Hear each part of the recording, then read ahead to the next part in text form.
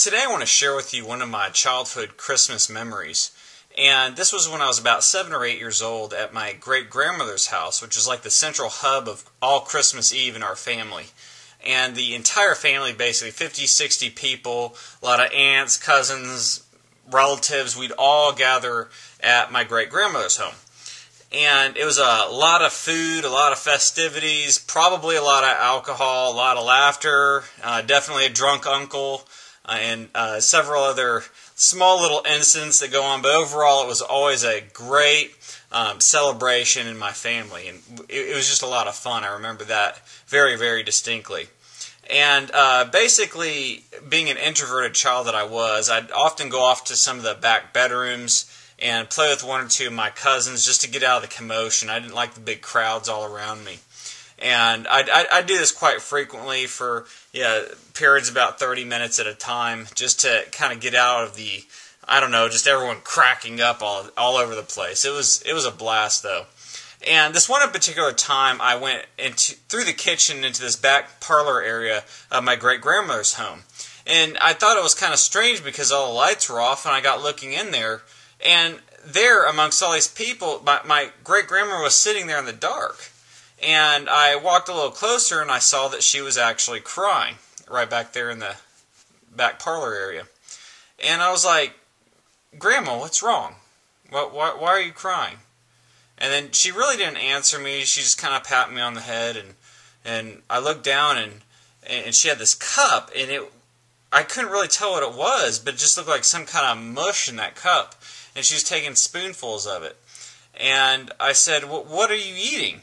And my great grandmother said, This is bread and milk. And I said, Well, why are you eating that? And she said, Because I never want to forget the depression. And that hit me really, really hard when I was a kid. Why would you want to never forget the depression? And later on, I come to find out that this was a weekly routine that she had. She she carried all the way from when she was a child uh, through her entire life, every week she'd eat bread crumbled up in milk because that's all they had during the Depression. And uh, to continue that conversation I was having with her, uh, she basically never wanted to forget the Depression. We talked a little bit about the hard times in the Depression, how some of her cousins would have to sneak into restaurants and squirt the Heinz ketchup into a cup of water and mix it around so they'd have something to drink, uh, tomato juice of some type. And it, it was it was a very tough time on all these people, but she never wanted to forget that. And I thought that that was really peculiar, especially at my young age, but now I understand completely why she did that. And of Christmas Eve of all time, she just didn't want to forget that.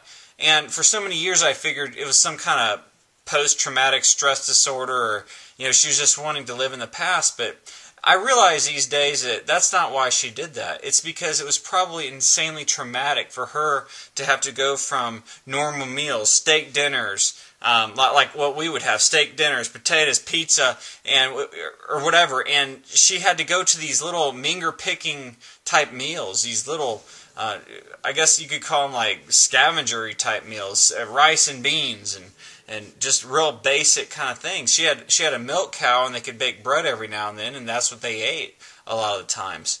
And she just said she never wanted to forget that. It just it really um, strikes a nerve of how traumatic that must have been for people in a depression.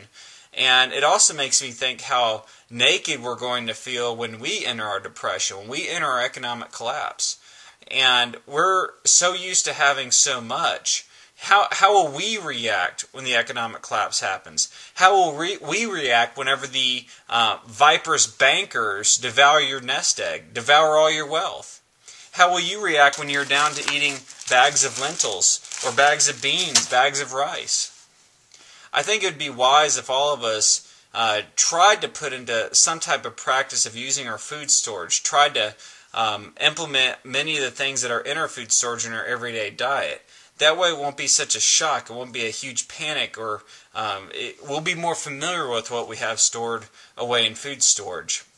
I also thought it was interesting at the end of that conversation. I don't remember all the details that she told me, um, but in the end of that conversation, she said they can take everything away from you except for what you have right here.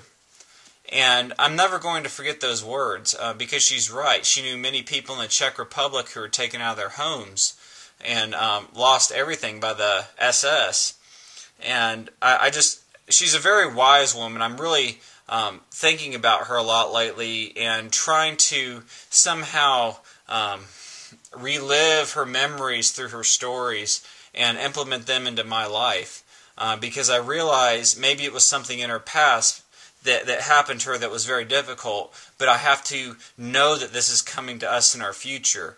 And I think that this could help many of you out there um, by by not having such a shock when the economic collapse happens. We, if we already are used to eating our lentils, it's not going to be so surprising when we actually have to survive on our lentils or rice or beans or whatever we have stored away.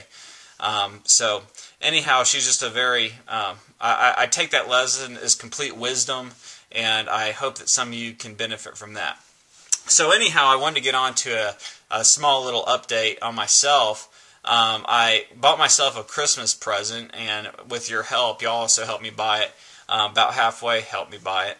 And what what I'd had in the past are some guns, and you've seen them in some of my other videos. And this is a little 32 pistol, and this thing is more uh, more or less would fit my wife's hand a lot better than mine. It's a smaller caliber gun. Uh, I, it's a little bit small for my hands. It, it's a good gun, don't get me wrong, but it, it just it never really fit me very well. Uh, this other pistol I bought on a whim because it used the same caliber ammunition as my other pistol, uh, but it was also compatible with the S and W long uh, ammunition, and it, it, uses a 32 long and a 32 uh, just like the other pistol and it was also a revolver. I thought I'd leave it sitting around. But if you can see that handle, that's an awfully small handle. I mean, I, I can't barely even hold this gun uh, very steady. Um, it, it, more or less fit my eight-year-old son's hand better, um, if, if needs be. This there's no way this is going to be a practical gun for me. I'm not positive 100% why I bought this thing, but it was a very good price and it was the same caliber as my other gun. So I was like, you know what the heck, I, will just pick it up. Uh, so anyway, my new toy that I bought for Christmas that fits my hand absolutely perfectly is this 357 Magnum. It has a 6 inch barrel, it's the Colt MK Trooper 3, and it has plenty of muzzle velocity, plenty of takedown power. It fits my hand absolutely perfectly. Um, like I said, my YouTube partnership paid for half of this thing. It's uh, definitely a good thing to have in the economic collapse for myself. My pistols can now work for my wife, daughter, sons if, if needs be. Uh, they all know how to shoot the other pistols, and this one just fits me a lot better, I think. Uh, so, anyway, thank you very much for your contribution to that and I hope you have a Merry Christmas. Till next time.